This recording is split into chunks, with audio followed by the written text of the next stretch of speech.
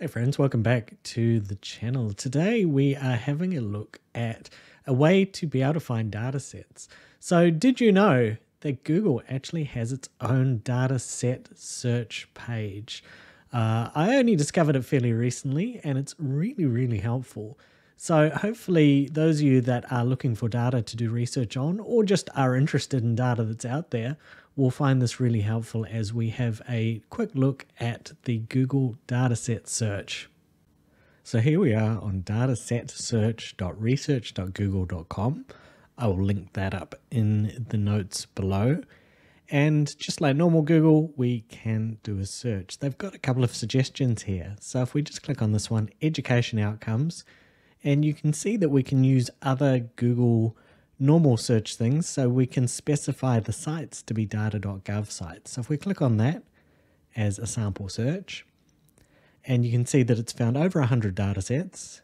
You can see that they are all data.gov sites. And so for those of you who are in other countries, that may not be relevant. I think that is a more US centric thing. And for each data set, you can see there's a description, there's some links. Up the top, we also have some filters. So when was it last updated? What format? This could be particularly important for uh, getting tabular data versus maybe just some documents about data. Usage rights, uh, different topics, and whether or not it's free. So I have only searched a little bit. I haven't really found too much uh, in terms of paid, and I guess when we're searching on government sites, it typically is free data.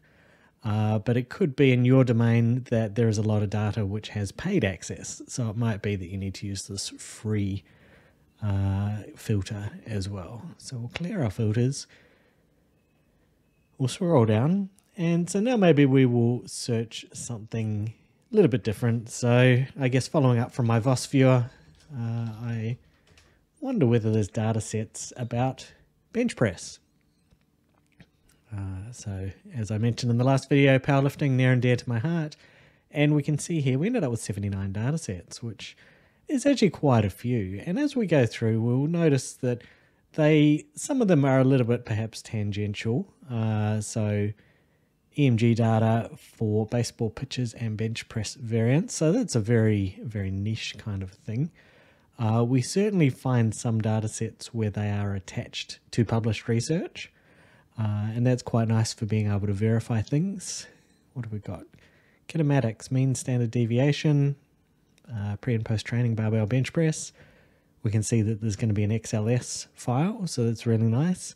Again, this is a file that is linked up to someone else's research but it could be that we take that, maybe we want to do our own kinds of analysis on it. Maybe we're doing a meta-analysis where we're putting multiple kinds of um, data, different studies together. Scrolling down further, we can see sites like Kaggle. So Kaggle has, uh, and I already knew about this one, open powerlifting data, um, which can be sourced from a couple of other places. We can see it's got a Creative Commons license. So we are pretty much welcome to do, uh, certainly analysis wise, an awful lot with it. You can see all of the different variables there.